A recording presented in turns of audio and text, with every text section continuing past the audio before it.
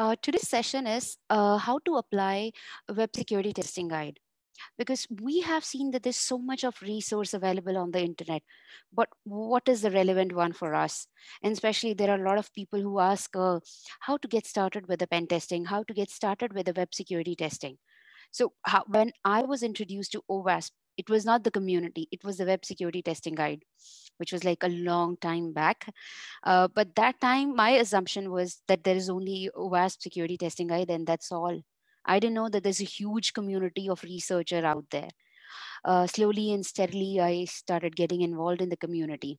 Now, moving on to the topic, how this can be useful or uh, how this testing guide can be useful for people starting off with security specialist or the people who are getting started with uh, security.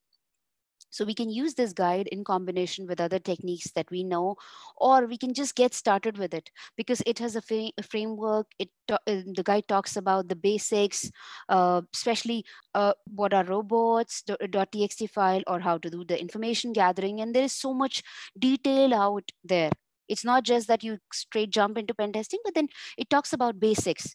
It talks about clearing all those uh, untouched points which needs to be considered.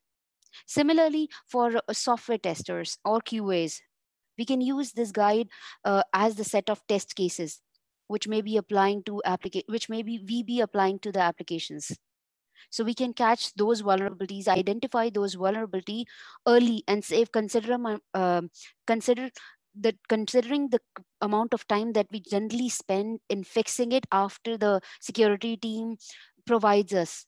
So now here we can find it early because we know okay this is the thing that we should be testing. At least to a considerable uh, uh, amount of time that we can save here. Now how about developers? Can they use it? Absolutely why not so uh, for developers, these tests uh, can be used as part of the normal code and unit testing procedures because the guide talks about uh, multiple details like what could go wrong if we don't have, if we have this vulnerability? What is the impact? How can we fix it? So it talks about all those areas and for project managers as well they can consider this uh, for the reason that uh, this guide exists and security uh, issues also exist. So they, it can give a brief idea to the project managers as well because they talk day in and day out about security uh, if they are security project managers. And if they don't have uh, if they don't get the understanding it's sometimes really challenging. So this guide really really helps. I've seen my friends who are project managers. They have got really benefited by using the testing guide now when we talk about testing what kind of testings do we have? We have a passive testing. Uh, like we can categorize in multiple ways, but I generally say that it can be passive testing and active testing.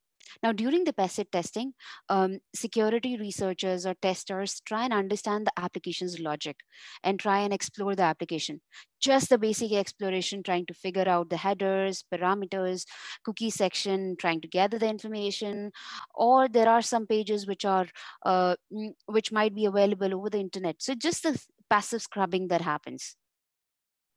So uh, in the active testing, we as a security researcher begin to use the methodology uh, which are described in different sections or the methodology that we have. Okay this is a thing that can be used in testing. These are the things that should be used for testing. These are my test cases that i should be running or i i want to run on the applications.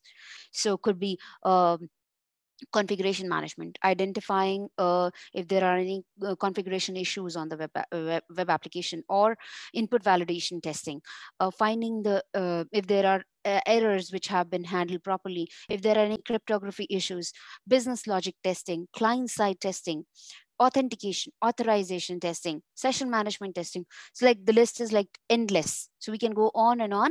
So this, this guide touches all those unsung areas. So uh, the testing guide also describes in detail both the general testing framework and the techniques required to implement the framework in practice. Now, this can be taken as a framework and it, it is basically a framework, but then you can build on top of it. Because when we start talking about web app pen testing, when we talk about DevOps with security, all those things need to have a framework this can be taken into consideration especially from the side wherein we do the offensive uh, offensive testing on our own application.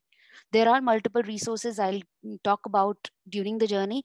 Some would be on the defensive side. Okay why this and why not the other one? Uh, so there are multiple chapters which are there.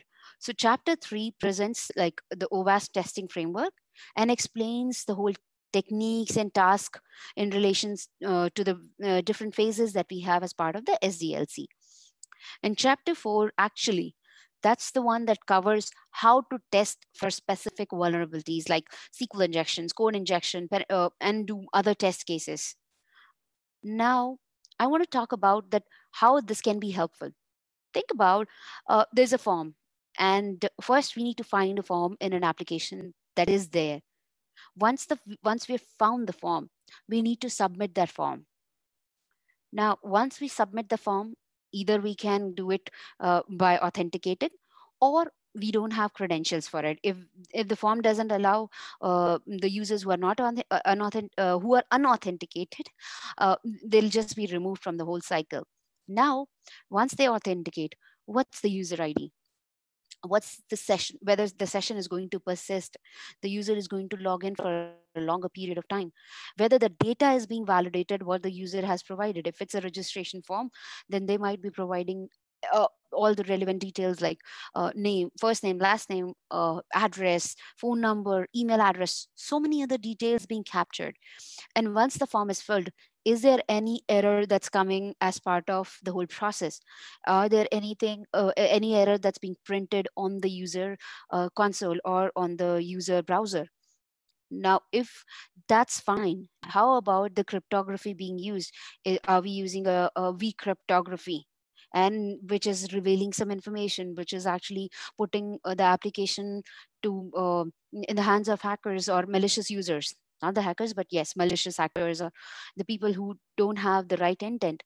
Now, once that's there, the input might be reflecting back on the client screen. If it's a registration form, we will create the registration and then there will be a, a, uh, a profile that will be created.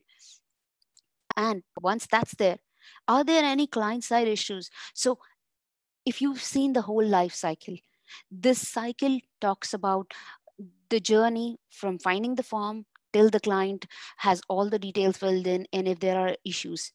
So the guide talks about and or touches upon every area.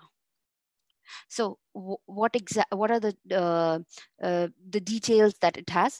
So it talks about information gathering, configuration and deployment management testing, identity management testing. If you've uh, if you've realized that the form flow that I was talking about, it's the same flow that we have here. Like first of all, information gathering, whether the form exists or not.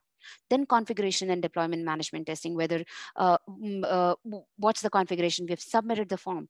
Finding the identities, uh, mm, filling in the username and password. Now, this is just a framework we can use it however we want there it's like it's not like that these these test cases will be going in just one direction we can tweak as per the need, as per the organization requirement.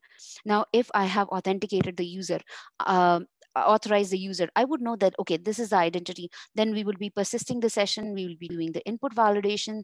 We'll be checking the uh, error handling or weak cryptography. Then we'll be checking uh, the client side issues. Now, there's one thing that we would also be doing is business logic testing which we might skip uh, or which we might miss with the the tools that we have. So it touches upon that area as well. Now uh, when it touches upon all those areas what is exactly inside it? What information it provides? I'm really um, curious about it. So it provides the summary about that particular test case that how we can do the information gathering then how to test it how to figure out if there is an authentication issue. What are the tools that can be used to figure out those details? And there are some references white papers or there are blogs which are attached to it so that you can go back on okay this is a use case that it was talking about. If i am able to exploit this is what happens to my application or this is the risk that can be there for my app